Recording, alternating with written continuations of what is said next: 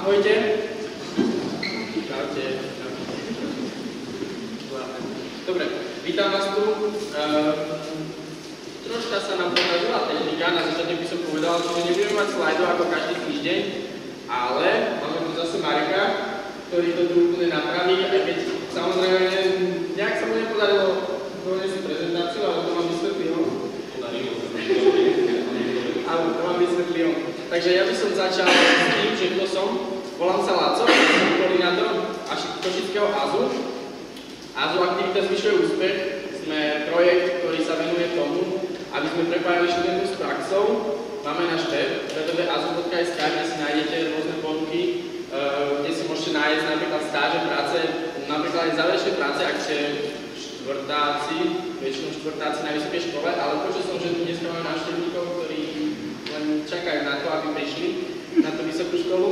Takže vás vítam, dúfam, že sa vám bude prednáška páčiť a že vás to tak nakopne, aby ste boli počas vysokej školy aktívni a, a aby ste využívali tie možnosti, ktoré, ktoré vám dáva tá vysoká škola a možno aj to sa naučili, čo vám tá škola nedáva. A na to sme tu my.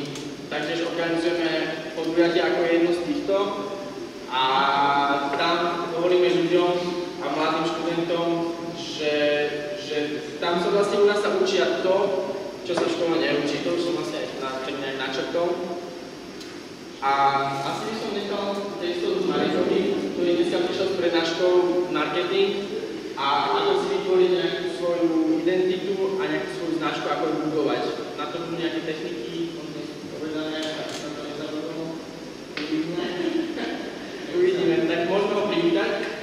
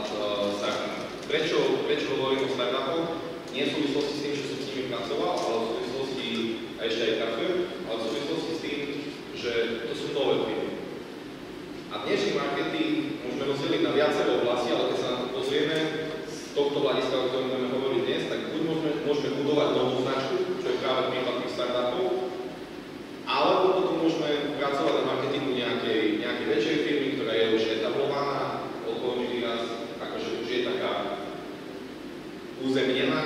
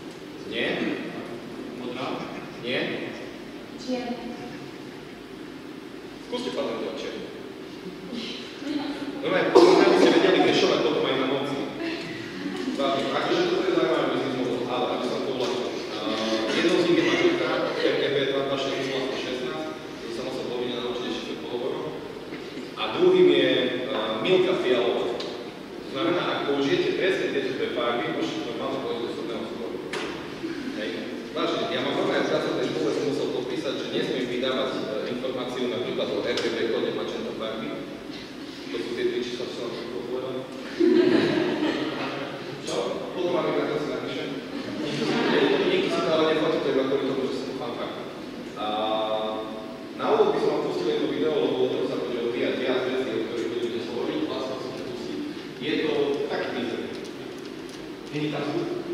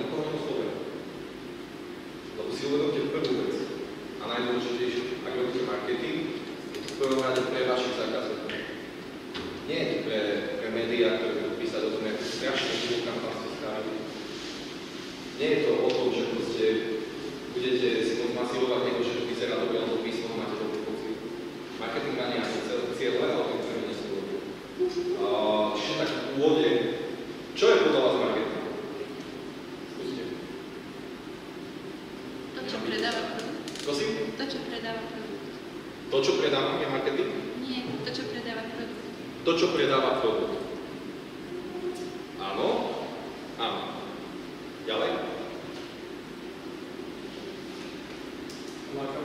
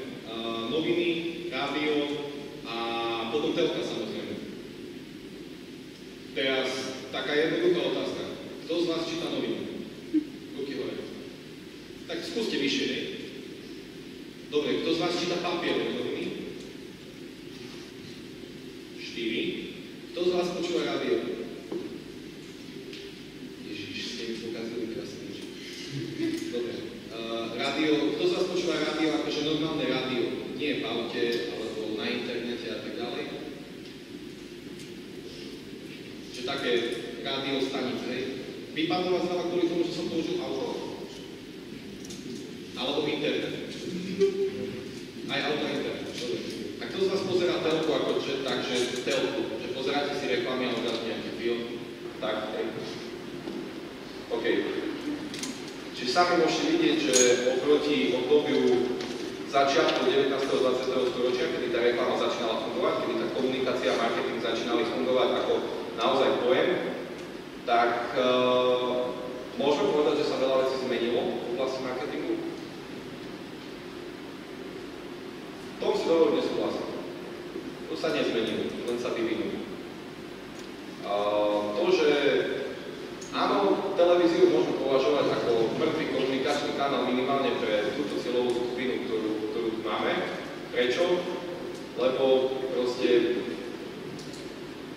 ja neviem, moja babka pozera televízor, moja sestra na materskej pozera televízor, ale ináč nie sme už nutení pozerať telku, hej? Takže tie komunikačné kanály a proces, akým spôsobom komunikujeme, sa vyvíjali. Prečo?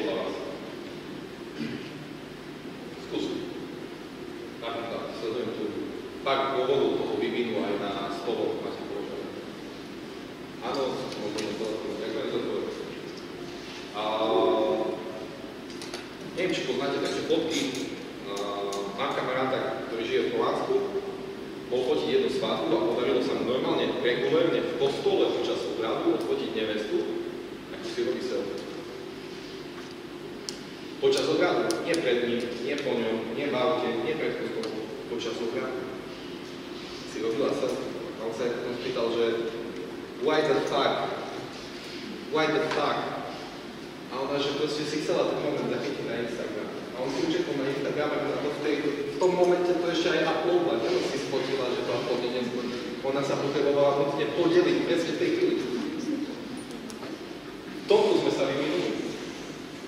Lebo od takýmto obsahu, ktorý môže byť reklamný, nie sú už iba médiá, nie sú iba tie značky,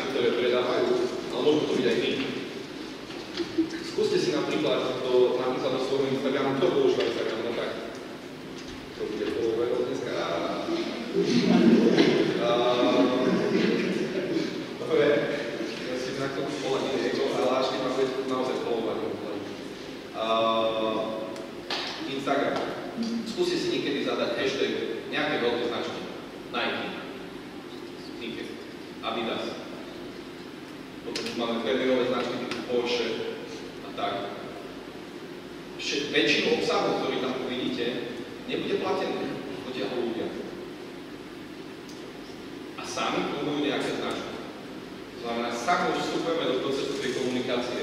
Internet, nevravím, že je, že je jediný dôležitý komunikačný kanál dnes, ale minimálne, čo sa týka cieľovej skupiny, ktorou sú mladí ľudia a aktívni ľudia, tak je najdôležitejší.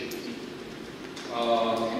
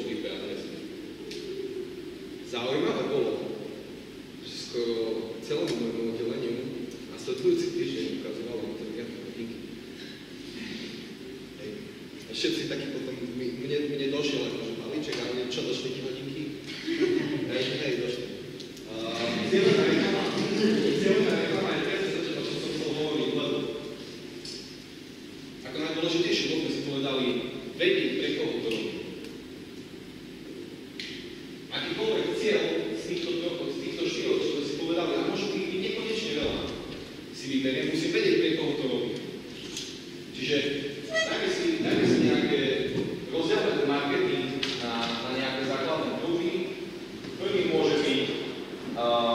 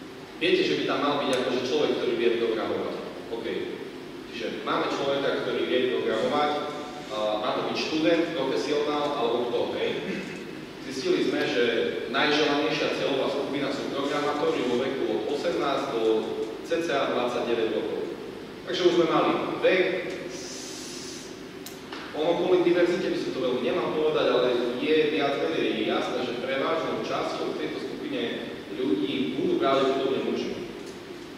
Ospravedlňujem sa všetkým ženám po webkách, minulý rok sme ich mali na akcii 30, tento rok ich je značne viac, ale bohužiaľ marketing sme po väčšine mierili na, na mužov. A, a teraz začnete rozmýšľať nad tým. Po vekovej skupine od 18 do 29 ľudí, čo tých ľudí zaujíma? na to vytvorili dotazník, ktorý sme rozoslali po firme. Po firme máme ako 4 tisíc zamestnancov, vybrali sme tých, ktorí sú muži po veku od 18 do 19 rokov a pracujú na developerských pozíciách. Takýchto ľudí bolo 600. 600 ľudí nám dalo data. Čo ich najviac zaujíma, čo je pre nich také, že dokáže predávať a tak ďalej a tak ďalej. A zistili sme, že potrebujeme niečo, čo má príbeh, niečo, čo, v čom sú rýchle auta, pekné ženy a adrenalín. A ja som tak prišiel za svojou šéfkou, ak aj potrebujeme rýchle auta, pekné ženy a adrenalín. A ona mi vraví, že pekné ženy ti dať nemôžem, lebo viem, ako to dopadne. A v podstate ma spravila dobre, že nedala tam tú možnosť, takže sme mali rýchle auta a adrenalín. A keď sme šli potom za agentúrou, ktorá nám točila video, tak ona na základe tých dát bolo ich samozrejme oveľa viac, ale veľmi o tom rozprávať nemôžem. Ale na základe tých dát, ktoré sme jej dali, bolo to 10 otázok, ktoré sa dali vyklikať za nejakú minútku a pol. My sme získali v princípe od ľudí diktát o tom, ako by mal, mala vyzerať ideálna kampaň pre. A v podstate oni nám postavili z veľkej časti scénar toho videa, my sme ho zaobalili iba príbehom a tým, a, a tým výsledným vizuálom, ktorý ste mohli vidieť. Uh, toto video malo skôr len komunikovať, nemalo ani predávať, nemalo ani budovať brand, nemalo ani, ani nejakým spôsobom komunikovať s zákazníkom. Teraz, akým spôsobom by ste robili predaj alebo predajný marketing? Čím ste začali?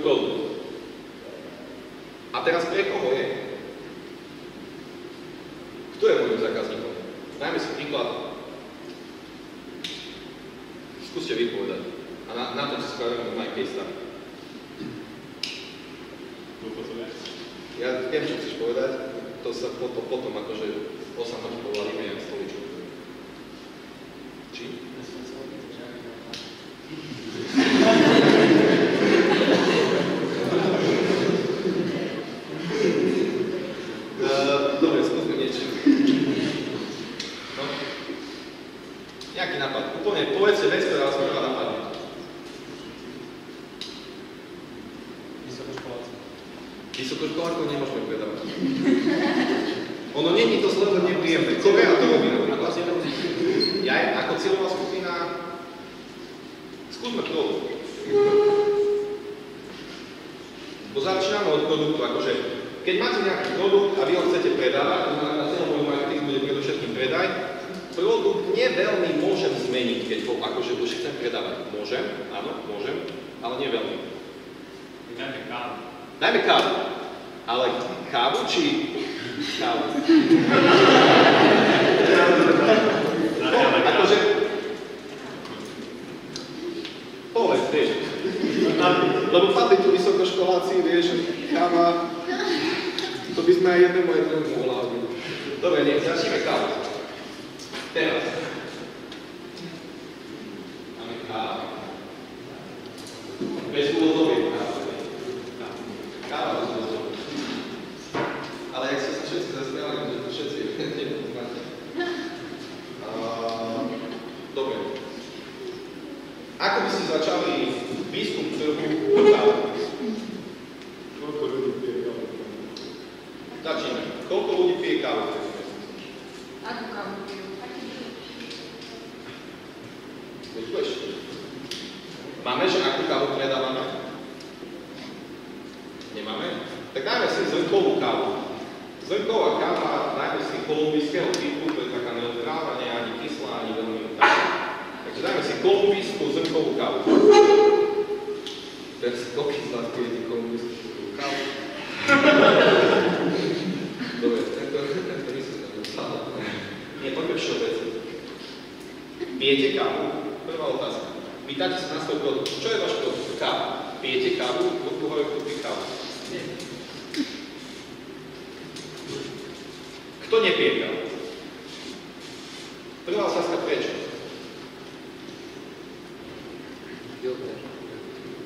Vidíš, nevieš, mal by si vyskúšať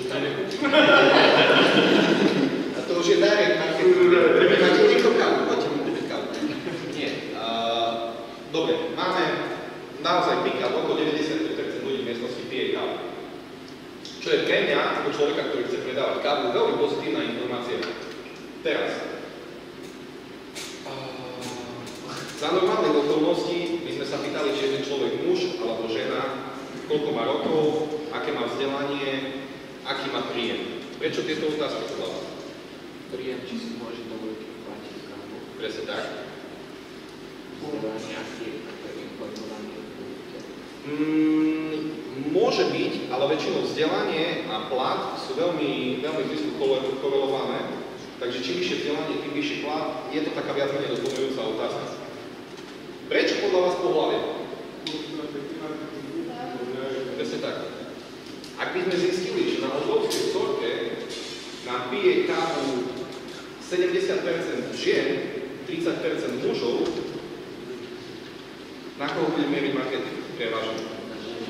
Presne tak. Uh, poznáte možno americké reklamy na pivo Bud Light? To pivo je strašne ináč. To light je akože doslova light, lebo to pivo je slabé, lebo je to ochutená voda s pivovou chuťou. Ale oni vyskúšali, myslím, že to bolo v roku 2013, jeden zaujímavý experiment, ktorý súvisel s výsledkami ich prieskumu trhu, práve kde sa opýtali, nepýtali sa na to, kto pivo pije, ale kto pivo kupuje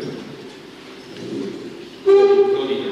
A zistili, že v rodinách, ktoré sú mladé, to znamená vek 26 až cca 32 rokov, nakupujú pivo prevažne ženy. Čo myslíte, na koho začali targetovať marketing? Čo myslíte, o koľko išiel hore predaj? 50. 180%. Lebo po obrazu, akože to by mohlo fungovať na Slovensku, lebo moja žena napríklad nekupuje pivo.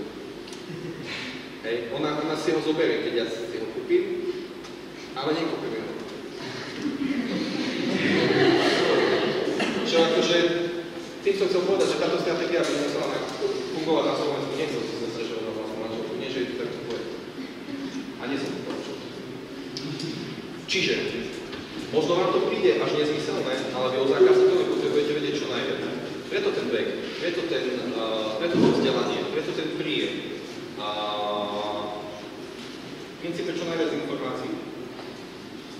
Úplne uh, najlepším zdrojom informácií a dát podľa vás je čo? Prosím?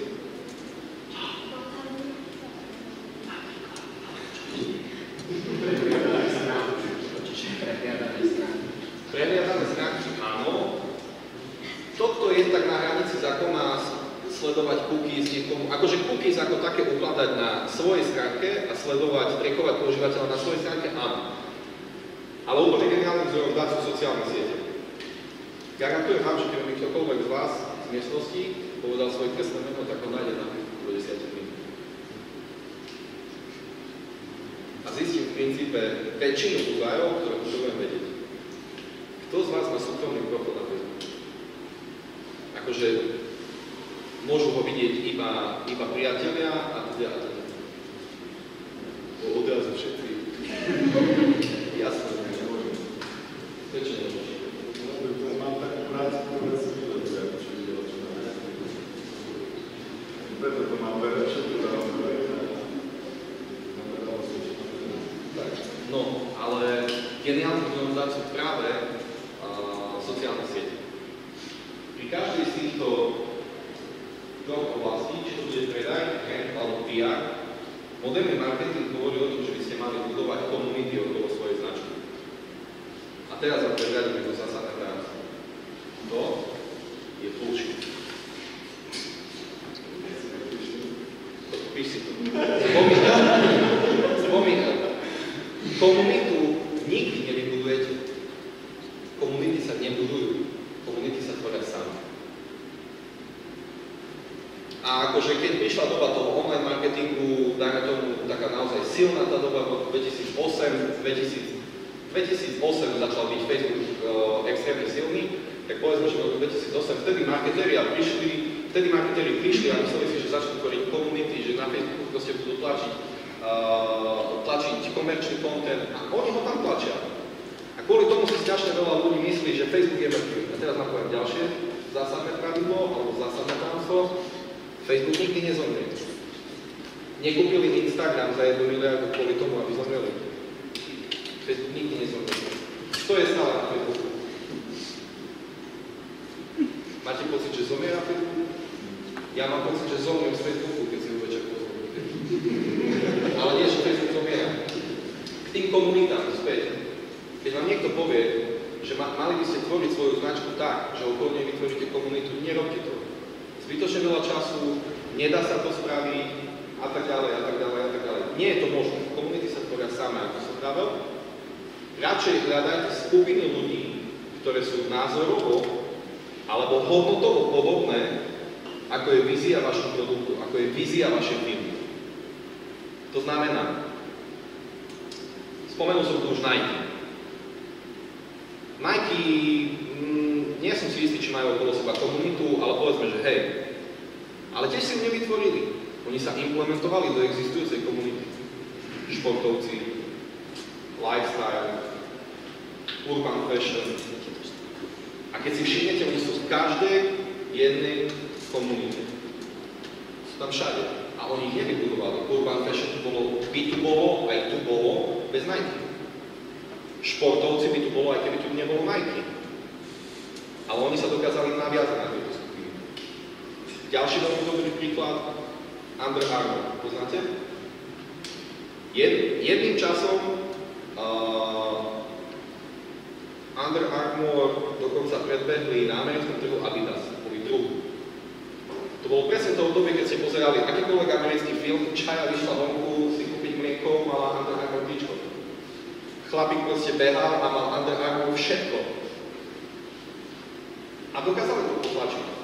The Rock na Instagrame mal jedným časom fotky iba Under Armour veciach. Není to preto, že by sa mu tá značka najviac na svete páčila určite. Ale tie komunity, práve takýmito spôsobmi sa dokážete na ne lepiť. Nejakými influencermi. Veľmi dobrý príklad v tomto je aj Red Bull. Na akej komunite žije a pracuje Red Bull podľa vás? Prosím, adrenalinoví športovci, ešte niečo? Ešte by som aj na čo vedel, súvisí to s kávou, ale whatever. Čo si? To, keď poznáte také, trošičku odbočím, sa niekedy zvyklo vraviť, že talenta bez piva vyrúcené peniežky. A môj kamarát teraz zvykne rozprávať, že vodka bez Red Bullu peniežky. Čiže áno, áno, ale Red Bull ako taký sa stal party nápojom pre aktívnych ľudí, športovcov a tak ďalej. Akýkoľvek väčší športový event, prídete na a vidíte tam stan Red Bullu, stanok Red Bullu a tak ďalej. A toto je presne spôsob, akým sa Red Bull fyzicky začlenil do tej komunity. Dnes, keď idete robiť akýkoľvek bajkový festival, akýkoľvek lyžiarsky, freestyleový, snowboardový festival, je na z prvých kontaktov, ktorý vyťahnete, a je veľmi zaujímavé, ako ľahké je to spraviť, je Red.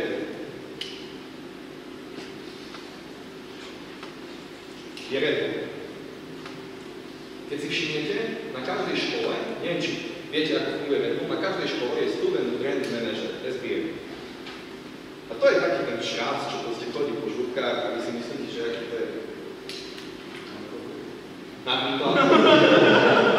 Ale viete, väčšinou sú to takíto ľudia, ktorí sú strašne fresh. Jeden môj kamarát, čo si zvykol robiť, bol taký, taká pováha, čo chodil po jazze, so sluchatkami v ušiach, keď bola diskoteka, mal hlasom. A normálne zo stolu bral napoje a proste pili, hej. Viete si predstaviť, jak vyzeral, ale bol to strašne srandista, všetci ho poznali. A on začal robiť Red Bull SBM manažera. Na každej študentskej akcii, na každej študentskej akcii sa skrieskal, ale ten chlapec mal také výsledky, ako nikto. Pretože na tomto stojí stratégia Bull. Mladí ľudia, aktívni ľudia, športovci, alkoholici. Akože alkoholici sú jedným spôsobom aktívni ľudia, v inom čase aktívni ľudia. To sú len ľudia aktívni v inom čase. Je treba ich konzultovať. A, ale môžete, môžete vidieť to, že proste Red Bull netvoril komunitu. Freerideri, snowboardisti, uh, bikery, všetci tu boli ešte pred Red Bullom. len sa dokázali veľmi dobre nalepiť na skupinu ľudí, ktorá mala spoločné hodnoty, spoločné názory a bolo veľmi ľahké medzi nimi umiestniť ten produkt. Vlastne, to si ťa zrekrytili na ten poslednú kartu, konkrétne to, alebo druhú tú veda. Red Bull Stratos, pamätáte si niekto? Viete, koľko to stálo, táto sranda? Že teplotlučným balónom špeciálne upraveným vypustili šnáca na hranicu stratosféry a on si dal proste čar 35 km. Viete, koľko to stalo? Koľko? Nie. 50 miliónov dolárov. A teraz ja si pamätám, jak som to pozeral, ale oco normálne pri telke, že prečo pre Boha 50 miliónov dajú na to, že by sa takto skoro prizabil. A teraz, akože, zamyslite sa nad tým, vy ako firma by ste na toto dali 50 miliónov dolárov. No, not sure about that. Ako, a v tej dobe som si tým nebol istý a potom začali prichádzať čísla. Red Bull cca 3 mesiace potom, ako sa skončil projekt Stratos, vydal oficiálne čísla o tom, koľko ich to stalo. Čo bolo tých 50 miliónov dolárov. A vydal aj oficiálne čísla o tom, koľko vysielacieho, vysielacieho času prirodzene získali len tým, že to spravili. Oni nemuseli platiť to, že to bolo v každých správach ten deň. Že to bolo v každých športových novinách, týždeň predtým, týždeň potom, v rádiách a tak ďalej. Nechali si spraviť uh, nacenenie vysielacieho času, získali prirodzene. Koľko to podľa vás bolo? pol miliardy. Celosvetovo to bolo 180 miliard dolárov. Vysielací čas v hodnote 180 miliard dolárov a vizibilitu takú, jak nikto, dostali za 50 miliónov. Čo v podstate, keď si odrátate od 180 miliard 50 miliónov, oni vlastne ešte zarobili.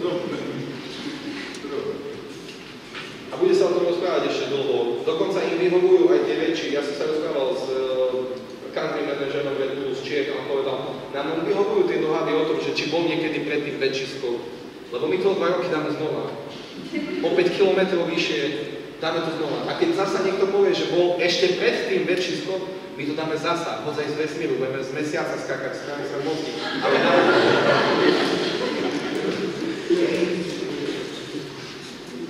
A toto sú dáta. Toto sú tiež dáta.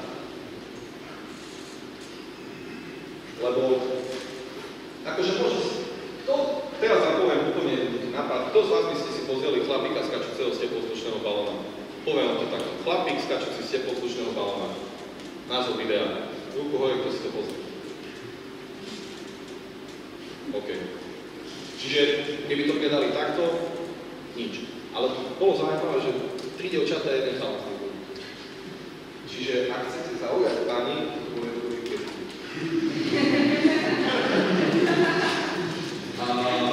toto video bez, nezáležalo na tom,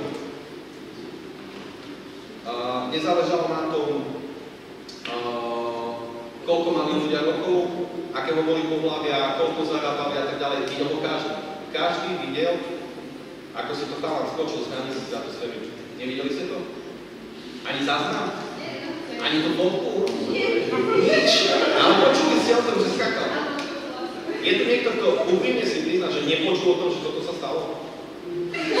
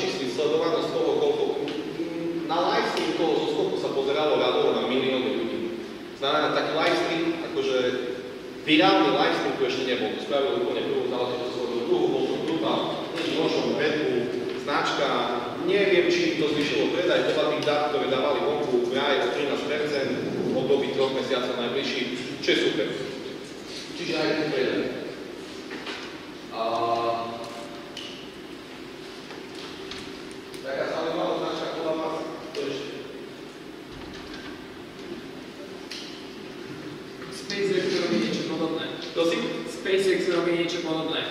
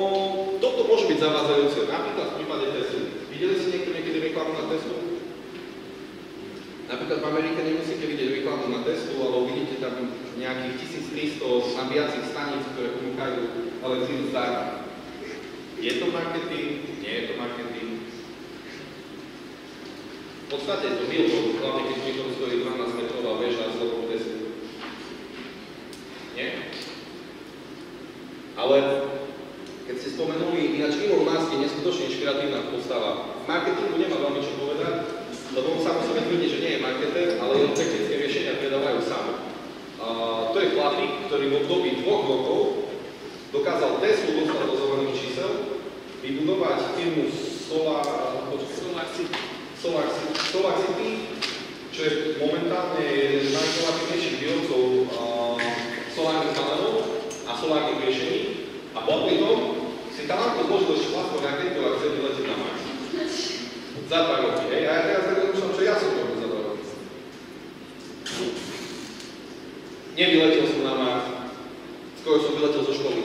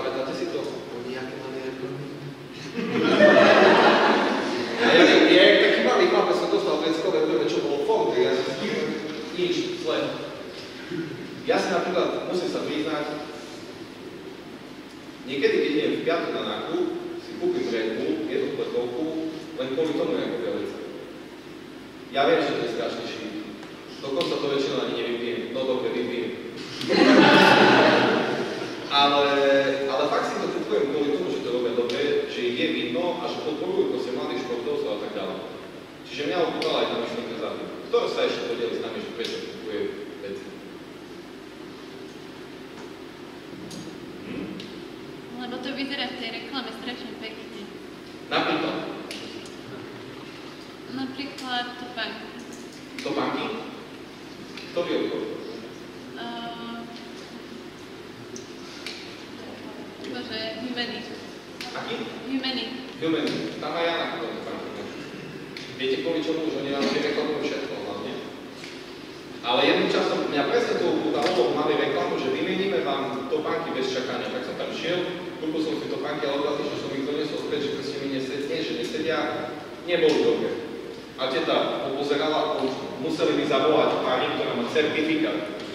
v podstate skoro tá istá teta, čo stala vedľa nej. Keď sa tvárila odbornejšie, keď ho začala tú topánku. Dávali sme do krabice a povedala, môžete si vybrať nové. A ja odvtedy nekupujem topánky, ide len humaninku a potom akože tenisky a tak ide, ale topánky ako také kupujem len humaninku. A tiež som bol marketing. Dobre, čiže čo vás zaujíma predovšetkým na reklamách? Je to to, ako ten produkt vyzerá? Väčšinou príbeh. Príbeh? The point. Niekedy, hlavne v dobách, kedy sme hovorili noviny, rádio, telka, vedeli ste spraviť reklamu akúkoľvek, povedať ľuďom akýkoľvek klamstvo, čo napríklad ešte stále funguje v politických reklamách. Hej, a ľudia to žerú, ale ak si kupujete nejaký produkt, tam už tak veľmi klamstvo nefunguje. Prečo? To si Jedna vec je to, druhá vec je to, že dnes, keď kto z vás kupuje veci po internete? Kto z vás si prečíta recenziu skôr, ako si niečo kúpi? Nie vždy, sa priznám. Ale to je jeden z tých dôvodov, ľudia medzi sebou komunikujú. Už nemôžete predávať lacné sračky, už nemôžete predávať klamstvo. Ľudia chcú za A pravdu, za kvalitu. A ak nie kvalitu, tak chcú vedieť, že to nie je kvalita. To sú tie veci, ktoré máte napríklad na Facebooku, v postranných reklamách. Donesieme vám e, najkrajší kabát na svete len za 29 dolárov, shipping free. A vy teraz ako rozmýšľate, bude to fakt, na fotke vyzerá úžasne ten kabát, dokonca na tej figuríne úplne, aké by ho ušili, nádej, všetko. A vám nejde do hlavy, že taký pekný kabát nemôže stať 29 dolárov. A ja mám akože kamoša, ktorý je notorický nakupovač po internete, on si kupuje, minulo si kúpil uh, pán Košiky Control Alt a Delete. A ja že prečo? A on tak pekne to. Ale niečo, čo spraviť, keď mu došli, lebo ich zabalilo do intelektového vreca a strčili ich pod lebo povedal, že strašne smrdia. Hej. Niekedy ten marketing, pretože jak to teraz povedať diplomaticky, akože niekedy marketing zafunguje kvôli tomu, že nerozmýšľate. Ale väčšinou už chceme reklamy, ktoré vám dajú príbeh, reklamy, ktoré vám dajú pravdu a viete, čo máte od toho čakať. Uh, skúsim povedať vašu, vašu najobľúbenejšiu reklamu. Rafael, to je krásne, napríklad. Ešte niečo? Kofola. Kopola? Ktorá? Ktorá? To je ikonická reklama. To je ikonická reklama. Ešte si pamätáte Veľmi zaujímavý ťah, budíš, z vás pozná reklamu Angelina, poznáte? Tá reklama vyšla prvýkrát v roku 98, ten bežec, ktorý proste chytil ten budíš, na to postavil celý víkend. Celý víkend, lebo chytil jednu generáciu ľudí, ktorí, pre, pre ktorých budíš bola slovenská kvalitná voda. A odrazu ich pretlačil rajec, uh, neviem kto, sulinka, magnézia, neviem čo, a budíš, strojnásobil predaje vďaka tej reklame. Ste vedeli? O 300% išiel hore predaj vďaka tej reklame s pestom, vďaka tomu, že obrendovali novú fľašu, nazvali to samozrejme retro edícia. To bolo re- re- retro, dneska ide strašne, ne? Čo môže byť retro na vode?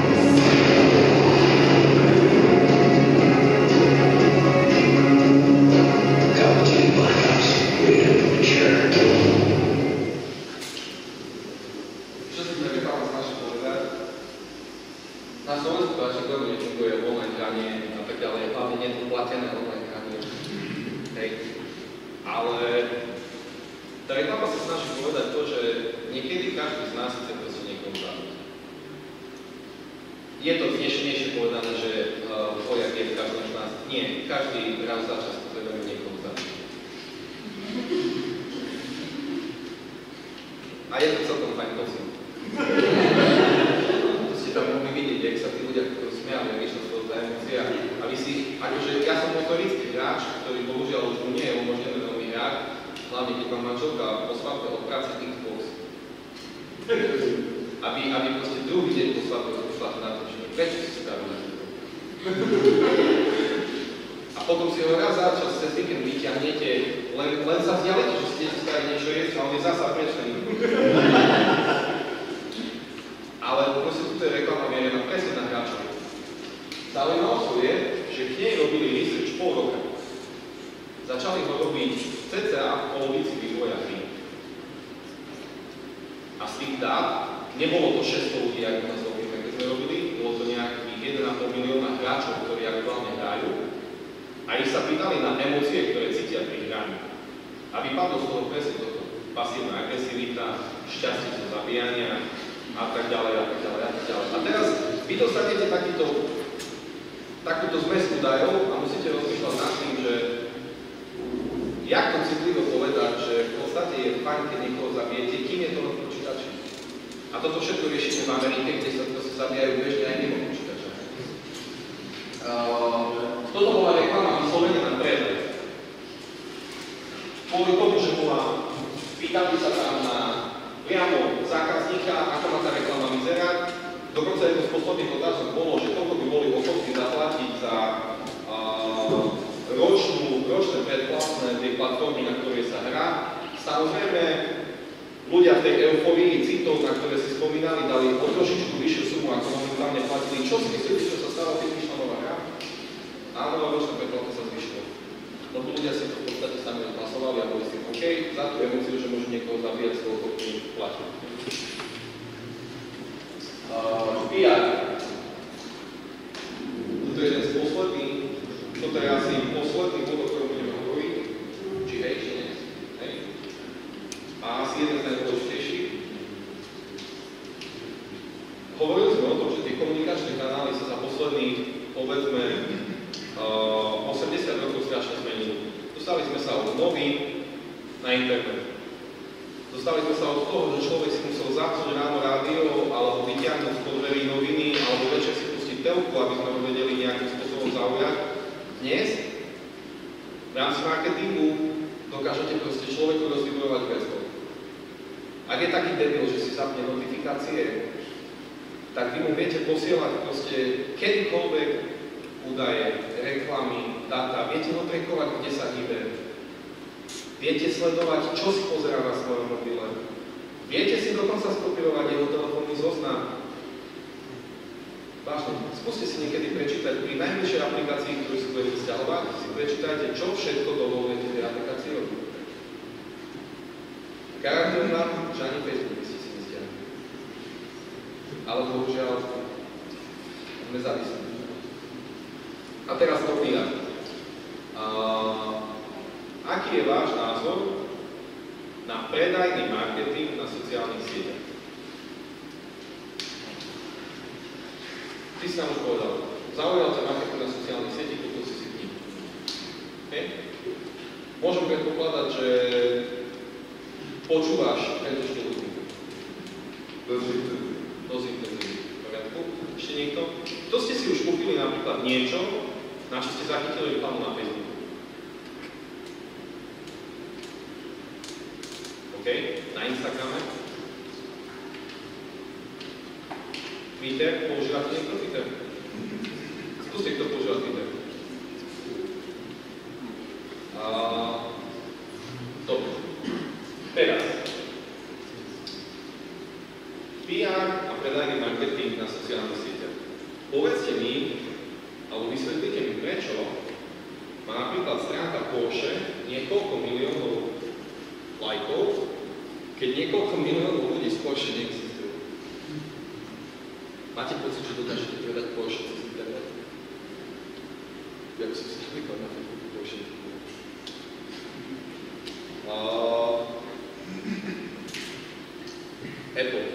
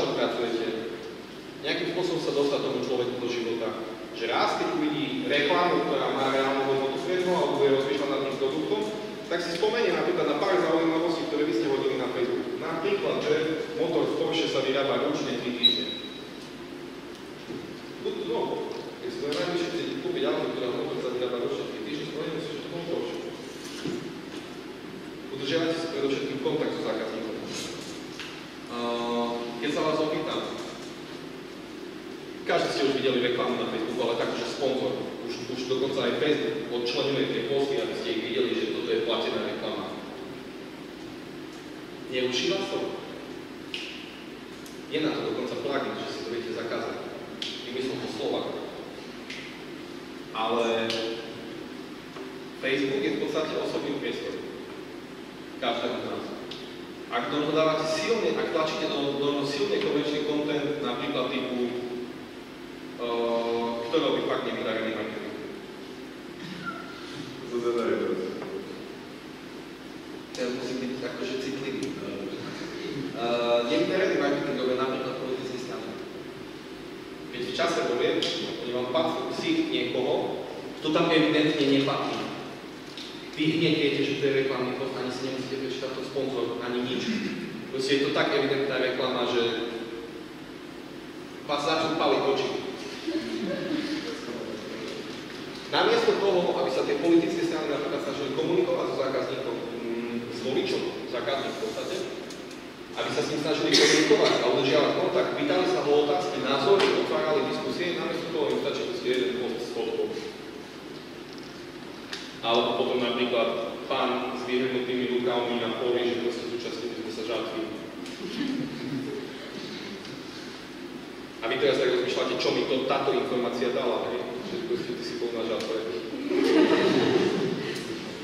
Hej, máte to potom radšej, akože nie, lebo on sa proste prechádzal po poli, kým ja sedím v robote. Na to by mal byť Facebook. Veľmi zaujímavá vec, čo sme zaviedli vo firme pred dvomi mesiacmi, keď som tam načipoval, bolo to, že Facebookový profil, ktorý máme, má 4,5 tisíc ľudí a ja som si tak akože v prvých dňoch otvoril správy na našom profile. Boli tam 3 tisíc. Typnite si, na koľko bolo odpísané. Ani jednu. Tak proste som chytil tie z obdobia posledných dvoch týždňov a začal som odpisovať. A odrazu, neverili by ste, ale Facebook nám zlacnil reklamu.